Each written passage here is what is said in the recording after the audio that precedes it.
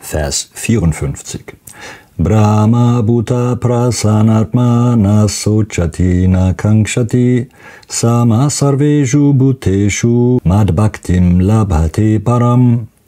Brahma Bhuta, eins mit dem Absoluten, Prasana Atma, von Freude erfüllt, na nie, Sochati klagt, na niemals, Kankshati begehrt, Sama völlig gleichgesinnt, Sarveshu allen, Bhuteshu Lebewesen, Mad Bhaktim meinen hingebungsvollen Dienst, Labhate gewinnt, Param transzendentalen. Wer auf diese Weise in der Transzendenz verankert ist, erkennt sogleich das höchste Brahman und wird von Freude erfüllt. Er klagt niemals, noch begehrt er irgendetwas. Er ist jedem Lebewesen gleichgesinnt. In diesem Zustand erreicht er reinen, hingebungsvollen Dienst für mich. Erläuterung. Die Brahmabhuta-Stufe zu erreichen, das heißt mit dem absoluten Eins zu werden, ist für den Unpersönlichkeitsanhänger das höchste Ziel. Was aber den Persönlichkeitsanhänger, den reinen Gottgeweihten betrifft, so muss er über diese Stufe hinausgehen und sich im reinen, hingebungsvollen Dienst beschäftigen. Dies bedeutet, dass jemand, der im reinen, hingebungsvollen Dienst des höchsten Herrn tätig ist, die Stufe der Befreiung, genannt Brahma Bhuta, Einsseins mit dem Absoluten bereits erreicht hat. Ohne mit dem Höchsten, dem Absoluten eins zu sein, kann man ihm nicht dienen. Auf der absoluten Ebene gibt es zwischen demjenigen, dem gedient wird, und demjenigen, der dient, keinen Unterschied. Doch in einem höheren spirituellen Sinne besteht ein Unterschied.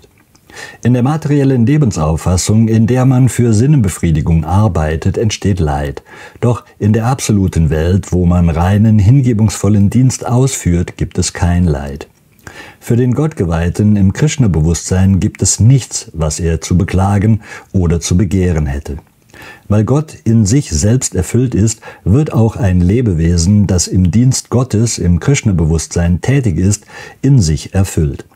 Es ist wie ein Fluss, der von allem schmutzigen Wasser gereinigt ist. Weil ein reiner Gottgeweihter an nichts anderes als an Krishna denkt, ist er von Natur aus immer von Freude erfüllt. Weder beklagt er materiellen Verlust noch begehrt er materiellen Gewinn, denn er ist völlig in den Dienst des Herrn vertieft. Er hat kein Verlangen nach materiellem Genuss, denn er weiß, dass jedes Lebewesen ein fragmentarischer, winziger Teil des höchsten Herrn und daher ewig ein Diener ist. Er sieht niemanden in der materiellen Welt als höher oder niedriger an, denn hohe oder niedrige Positionen bestehen nur vorübergehend.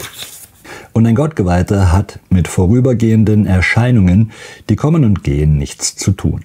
Für ihn sind Steine und Gold von gleichem Wert. Das ist die Brahmabhuta-Stufe und diese Stufe erreicht der reine Gottgeweihte sehr leicht. Auf dieser Stufe des Daseins wird die Vorstellung, mit dem höchsten Brahman eins zu werden und die eigene Individualität zu vernichten, höllisch. Die Vorstellung, in das himmlische Königreich zu gehen, erscheint wie ein Trugbild, und die Sinne gleichen abgebrochenen Giftzähnen von Schlangen. So wie man Schlangen mit gebrochenen Zähnen nicht zu fürchten braucht, braucht man sich auch nicht vor den Sinnen zu fürchten, wenn sie von selbst beherrscht sind. Für einen Menschen, der unter dem Einfluss der Materie steht, ist die Welt leidvoll. Doch für einen Gottgeweihten ist die ganze Welt so gut wie Vaikunta, der spirituelle Himmel. Für einen Gottgeweihten ist die höchste Persönlichkeit des materiellen Universums nicht bedeutender als eine Ameise. Diese Stufe kann durch die Barmherzigkeit Sri Chaitanyas erreicht werden, der in diesem Zeitalter reinen hingebungsvollen Dienst predigte.